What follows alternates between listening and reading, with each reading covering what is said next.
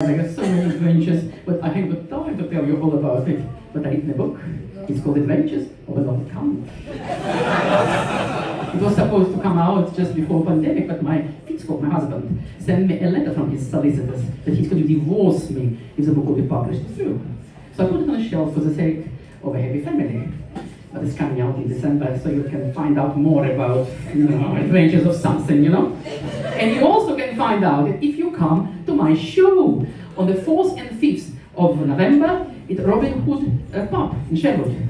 8 o'clock. I want to see you all.